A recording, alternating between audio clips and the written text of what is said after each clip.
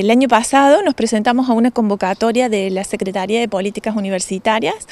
que nos invitaba a este, diseñar eh, una iniciativa, una estrategia para empezar a pensar en nuestra universidad en la internacionalización del currículum. Em, de allí que entonces nos hemos propuesto hacer, llevar adelante este año una serie de jornadas, capacitaciones para sensibilizar a toda la comunidad universitaria, docentes y demás, muy de la mano de todo lo que este, em, viene desarrollando de la universidad de hace tiempo en cuanto a innovación curricular, eh, considerando la internacionalización como una manera más de innovación curricular.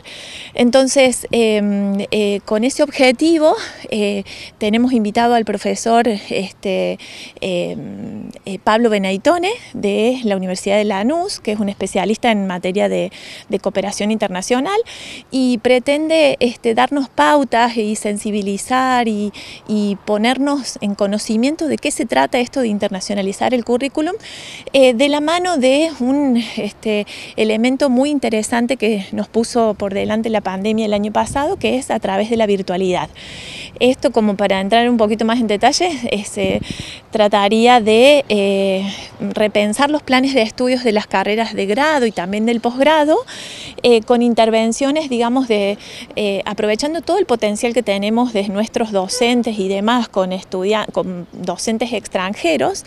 para em, participar en el dictado de ciertas asignaturas, ciertas temáticas, ciertas este, disciplinas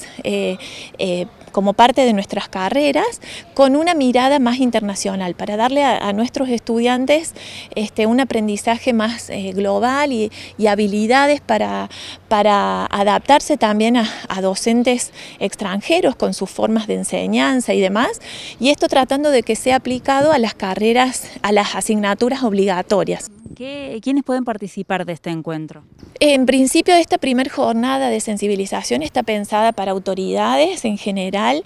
em, secretarios académicos de las facultades, este, toda este, docente implicado en la gestión de carreras, desde directores de carreras de posgrado, este, comisiones curriculares permanentes de las carreras de grado eh, y en, en términos generales docentes y no docentes que quieran arrimarse a esta primera jornada de sensibilización, pero mayormente enfocada en eh, personas de la gestión de las carreras, eh, en esta primera instancia.